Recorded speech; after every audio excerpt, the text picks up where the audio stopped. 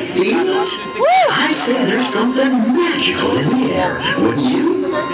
Why, it's the spirit of the season. A season that sparkles with its own magic and memories.